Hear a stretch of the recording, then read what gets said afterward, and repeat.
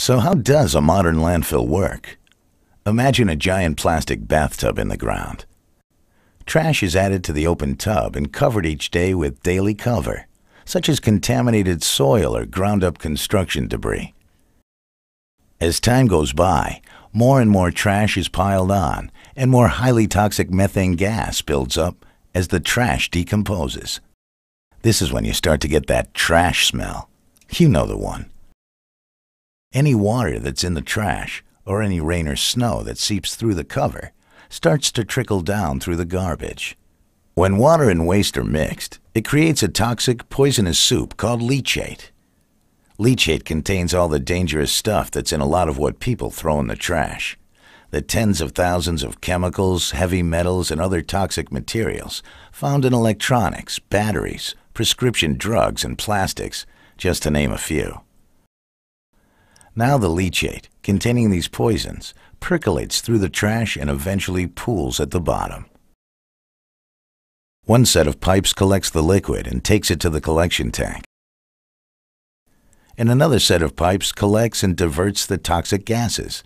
However, only some of the gas gets captured over the life of the landfill. The rest escapes into the air, rancid odor, and airborne toxins that have been shown to travel over three miles from a waste site. History has proven that many parts of a landfill system will eventually fail. The collection pipes buried under the garbage will become clogged and eventually break.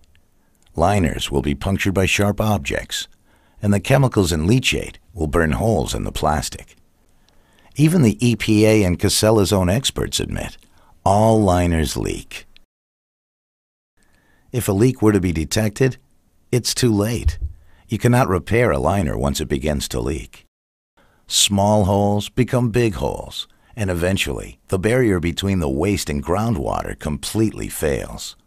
How and where the leachate will reach the groundwater is impossible to predict. Hundreds of homes using private wells surround the Southbridge landfill.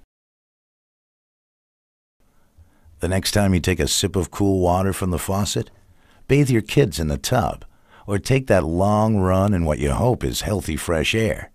Think about it. Dirty diapers, broken office furniture, bathroom cleaners – all sound harmless enough when you're chucking them into the trash. But now you know.